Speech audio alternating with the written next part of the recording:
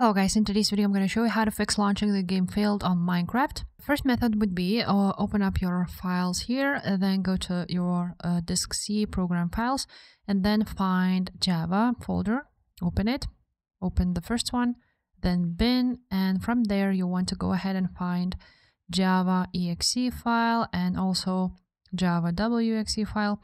Basically you want to check all of them, just right click on it, go to properties, compatibility, and make sure that it is not set on run this program as administrator. Just it is it should be unchecked. You want to check both of these files and the problem should be fixed. Now, if that is not the problem, then you want to go ahead and go on search here, write down configure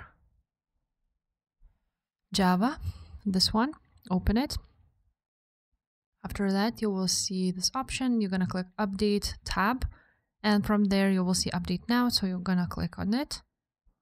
Now, if you see this message, you are already have the latest version, then you're good to go. The problem should be fixed. If the problem still persists, uh, then you want to go and open up installed apps. Uninstalled apps, you want to go ahead and search for Minecraft launcher. Here it is. Now you're going to click these three dots, click on advanced options. On advanced options, you want to go ahead, scroll down until you see repair. You're going to click repair button. Uh, and after that, if the problem still persists, you can go ahead and click reset. Now, if the problem is still not fixed, you want to open a Minecraft launcher. From there, you want to open Installations tab, uh, find the latest release, then click on these three dots and click Edit. From there, you will see more options at the bottom. You want to click on it, and here you will see arguments. So you want to go ahead um, and copy everything here, and let's put it in our notepad. So for example, somewhere here. Now, after that, you want to go ahead, delete this, the arguments, click Save, and launch your game.